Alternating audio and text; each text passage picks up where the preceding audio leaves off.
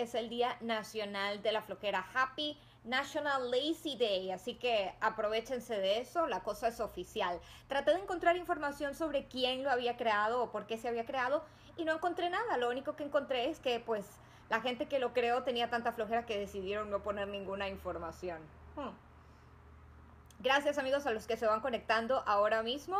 No olviden escribirme desde donde me saludan. Por favor opinen sobre los temas que vamos conversando el día de hoy. Yo estoy aquí con mi café preparadísima, cargada de energía para seguir uh, completando esta semana y les voy a comentar aquí del cafecito que me estoy tomando hoy. Yo se los he mostrado ya antes, es de la marca Heart. Este es de Etiopía, de Etiopía. A mí particularmente eh, me gusta mucho el café de Etiopía. He notado que es un café Ah, bastante suave, no es nada amargo. A mí no me gusta el café fuerte particularmente, así que pues es un dato para aquellos que tengan del mismo gusto. Héctor Morales dice National Lazy Day, no me gusta porque me gusta trabajar, así es, caramba, con muchísima energía y entusiasmo. No es malo tomarse un, un ratito para relajarse de vez en cuando, pero la verdad es que hay de todo pasando allá afuera, ¿verdad que sí? Hay muchísima competencia, hay muchísimo por hacer, Ah, ah, la vida está llena de momentos hermosos, de lugares hermosos, de gente hermosa, como para pasársela uno flojeando un día entero, ¿verdad? Así que bueno, a los que les gusta trabajar o chambear, como dicen mis amigos mexicanos, bien por ustedes, igual que a mí. Uh, así que pues aquí con mi café y algunas de las notas del día les saludo con muchísimo agrado. Una vez más, gracias por conectarse. For those of you connecting for the first time, my name is Adriana Ruggiero. I'm in Los Angeles, California, and this is a brief uh, news brief I do every day on my Facebook uh, fan page and my Periscope channel. So um, if you want to find my, uh, find my fan page, you can find it by my name, Adriana Ruggiero. Para los que estén conectados por Periscope, me pueden encontrar por mi página de fans de Facebook. Esta información la estamos viendo ahora mismo en vivo por mi página de, fans de Facebook y mi canal de Periscope. La van a poder ver más tarde en mi canal de YouTube también. Y también queda allí en la página de fans de Facebook. Estoy como despeinada hoy. Bueno, pero es que sepan ustedes que yo me levanto, abro mi computadora, reviso las noticias, me preparo el café y me vengo. Así que pues me disculpas si estoy un poco allí despeinada. Gracias a todos los que se suman ahora mismo. Voy a pasar a comentarles algunas de las noticias del día. Voy a arrancar pues acá en Estados Unidos con algunas de las informaciones. Hmm. Y voy a hacerlo en el estado de Texas. Ah, sé que tengo muchos amigos y seguidores en Texas. Eh, y lo voy a hacer allí porque allí es donde se ha confirmado la primera muerte por el virus del Zika y se trata de un bebé. Las autoridades del condado de Harris en ese estado reportaron la muerte de una bebé recién nacida con el virus y que pues nació con los virus de manera, con los efectos del virus eh, de manera congénita. Eh, se sabe que la bebé habría adquirido el virus de su madre, que habría viajado a un país de Centroamérica. No se han dado más detalles. El caso ha sido clasificado como de transmisión externa, puesto pues como le digo, la, madre había viajado a un país de América Latina. Es una situación bien lamentable y pues continúa, eso sí, la eh, tensión en Florida por la investigación de los casos que han salido a la luz y que se han transmitido localmente por el mosquito aquí en el país. Ah, me saludan ahora mismo desde Santa Rosa y, uh, y, quiere saludar a su gente de Oaxaca. Saludos con mucho cariño a la gente de Oaxaca. Cheers al coffee.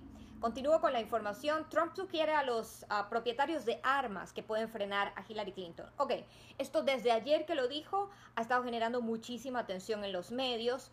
Donald Trump básicamente lo que dijo es que si Hillary Clinton llegaba al poder, iba a tener la oportunidad de escoger jueces y que, o iba a escoger jueces que iban a estar en favor de la regulación de las armas. Entonces, eso realmente es lo que él dijo.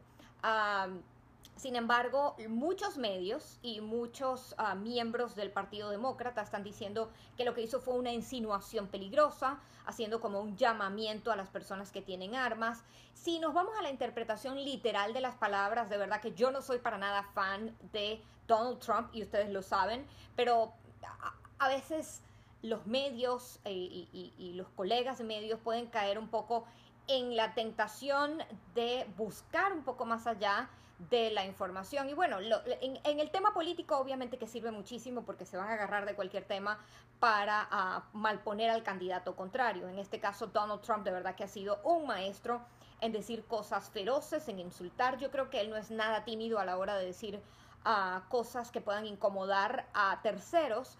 Pero básicamente yo, yo vi lo que él dijo, yo vi el, resumen y él lo que estaba diciendo era que si Hillary Clinton tenía la oportunidad de llegar al poder, ella iba a escoger estos jueces. Entonces, pues que era la, la oportunidad de ellos de defender su derecho a portar armas, que además era un derecho constitucional. Así que bueno, muy, mucha información, mucha algarabía de esto en los medios de comunicación. Definitivamente que sí, una persona que está bajo el ojo público tiene que tener mucho cuidado con respecto al tipo de declaraciones que hace pero pues es la situación. Déjenme saber su opinión, qué opinan ustedes. De pronto ustedes consideran que sí, que fue una provocación o de pronto ustedes uh, consideran que no lo es. Me encantaría saber lo que piensan, así que hagan uso de esta plataforma interactiva para compartir su postura, su opinión. Les voy a contar un poquito de una innovación acá en, Estados Unidos y es que en Miami se han desarrollado dos aplicaciones digitales para conectar a estadounidenses y cubanos. Así como estamos nosotros conectados acá, eh, ya sabemos que en Cuba hay bastantes re restricciones con el acceso a Internet, pues una empresa eh, de tecnología basada en Florida se las ha arreglado para poder desarrollar estas dos plataformas que buscan una generar información y la otra conseguir pareja.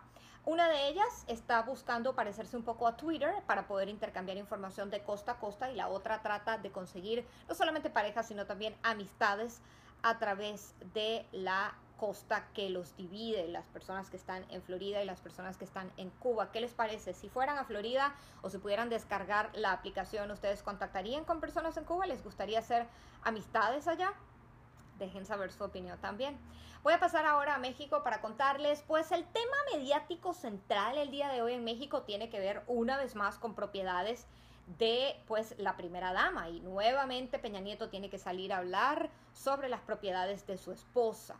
Ah, esta vez se trata de un apartamento, sería el centro de la discordia, un apartamento en Florida. Hoy Florida se está llevando toda la atención aquí en mi resumen de noticias. El periódico inglés The Guardian señaló que la primera dama estaba haciendo uso de un departamento en Florida muy costoso. Eh, y el gobierno mexicano salió al paso diciendo que The Guardian había transmitido información incorrecta y literalmente dicen que faltaron a la verdad respondiendo en frente a este hecho. ¿Por qué dicen eso? Bueno, porque dicen que el departamento que The Guardian informó no es el que pertenece a Angélica Rivera. Angélica Rivera, cuando hubo aquel lío de la Casa Blanca, eh, ella expuso sobre los bienes que tenía y efectivamente señaló de un departamento que ella tiene en Miami que además está ubicado en el mismo conjunto residencial que esta vez The Guardian está destacando. Los detalles que hay allí son los siguientes. The Guardian realmente no dijo en su artículo que el departamento fuera de la primera dama. The Guardian lo que dice en su artículo es que el departamento pertenece a un empresario que, número uno, está a punto de licitar o está posee una compañía que está licitando por contratos con el gobierno mexicano, lo cual no se ve muy bien. Número dos, que aunque sí tienen numeraciones separadas, están en el mismo lugar, comparten el mismo número telefónico. Y número tres, que la compañía dueña de ese otro departamento pagó los impuestos del departamento de Angélica Rivera. Entonces, la verdad es que por, más que el gobierno mexicano quiera esta vez tratar de aclarar, la cosa suena muy confusa. Voy a pasar ahora a información de Centroamérica mm.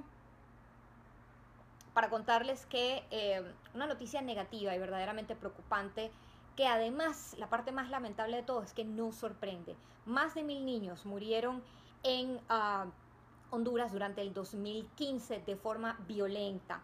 Uh, este es un reporte realizado por la Universidad Nacional Autónoma de ese país y el Fondo de las Naciones Unidas para la Infancia, UNICEF.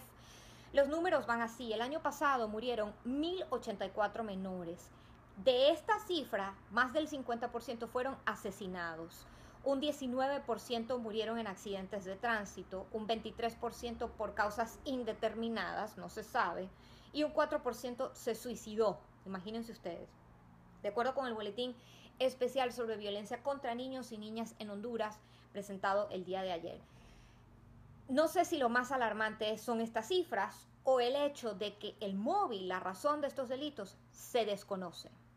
Simplemente no se entiende qué es lo que está disparando la muerte violenta de estos niños. Bueno, esto es el, el reporte de, digamos, la postura del gobierno, la postura oficial. Sin embargo, hay que, no hay que dejar de lado que Honduras es un país en donde la violencia le quita la vida a 13 personas diarias, la violencia en general.